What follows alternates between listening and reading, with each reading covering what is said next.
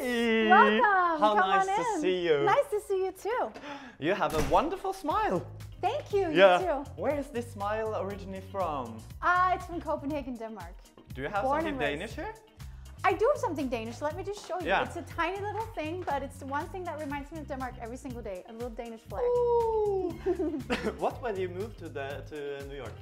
I moved because of uh, my education. I was accepted to a master degree in opera, and I'm an opera singer. You're so opera singer. I was here to study, and then I tagged along and stayed. I thought all opera singers were a little more fat than you. That's true. That's a myth, though. I mean, it's it's all about the muscle. There isn't really any secret things in fat or any resonance. so uh, you can still be an opera singer and be quite quite slim. And Cool. with the, the quality, like, I mean, the power now these days in opera, you need to swing around and up and down, and you're acting so much more now than in the old days. So you have to be fit. Right. definitely. Yeah. Where do you spend most time here? I wish I could say the bedroom, but it is not true. I spend most of my time right in here, next to my grand piano, practicing, practicing, practicing, right here. Well, you need to be persistent probably as an opera singer. That's true. one expression you need to learn living in New York City.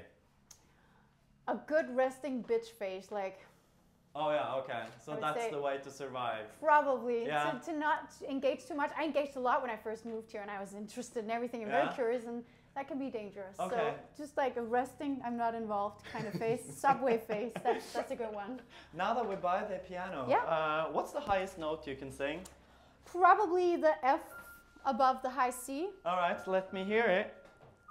That is insane. You ever broken glass with it? No, No? not yet. We'll try that later. Uh, what would you wear for uh, when you have a performance? Well, if it's my own performance, a recital where I'm not in a costume, I would wear something like this. Oh, A the performance lady dress. in red. Yes, very dramatic, good for recitals and dramatic German music and all of the things that you might be seeing. Yeah. Now, three places you would recommend people to go to to see a good opera performance. Ooh, the Metropolitan Opera, Right. Carnegie Hall, Yeah. BAM in Brooklyn, beautiful venues for opera. Wow. Definitely. Those are great Yeah. tips. Thank you. Um, what's the best thing about living in Tribeca?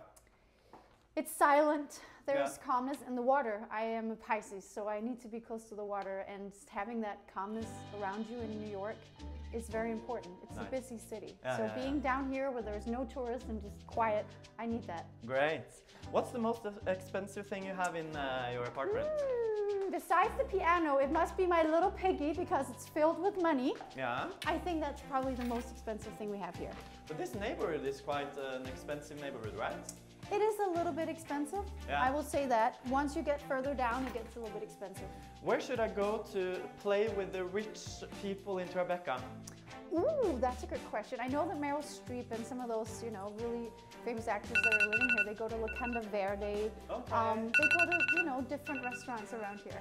I think we should go there now because the Ah, alarm went you off. might just spot them. You never, never know. But thank you so much for having us. You're welcome. That was Don't great... fall on your way out. bye Take bye. care, guys. Bye bye.